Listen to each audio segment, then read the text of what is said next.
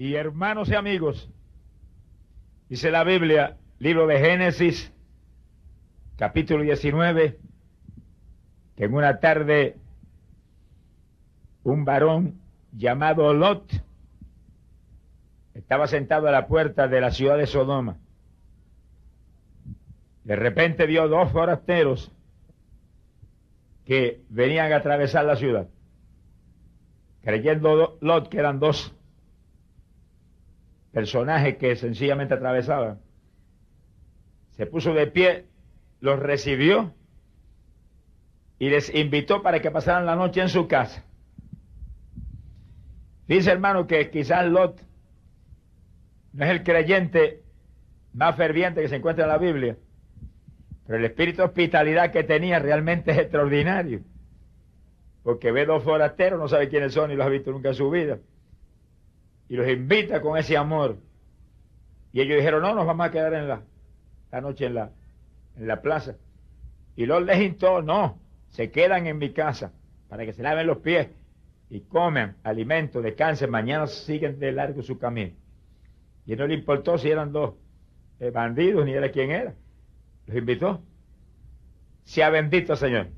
Y los dos personajes, pues, por fin consintieron en quedarse en casa de Lot. Lo que Lot no sabía era que no eran dos hombrecitos cualquiera, eran dos ángeles del Dios Altísimo. Alabe lo que él vive.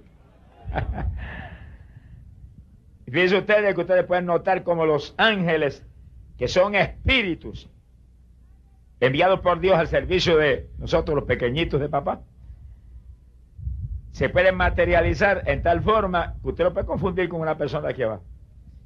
Aquí vemos un grupo grande de hermanitos aquí reunidos esta noche ¿Y quién puede asegurar que no haya ángeles sentaditos ahí en algún asiento de eso?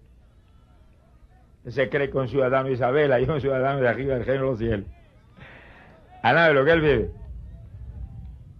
Una cosa sabemos, que hay multitud gigante de ángeles aquí con nosotros, eso estamos seguros. Porque todo el que acepta a Cristo Jesús lo confiesa delante de los ángeles de Dios. Y están a nuestro servicio. Y se mueven con nosotros y nos cuidan aquí abajo y están alerta cuántas cosas. Al servicio de los que estamos heredando la herencia de la salvación. Y luego se llevó a sus dos ángeles, creyendo que eran dos forasteros, los hospedó en su casa. Pero después que le lavó los pies y le hizo un banquete y le cocinó panes ácidos y comieron, dice como los, los ángeles comen, al lado de lo que él vive.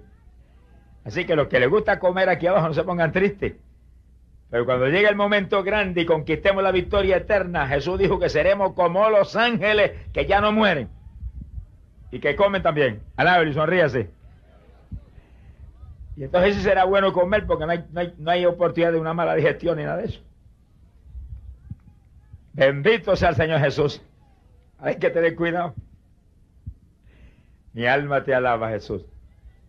Cuando iban ya a descansar, ocurrió algo increíble apareció una multitud de varones, hombres de Sodoma.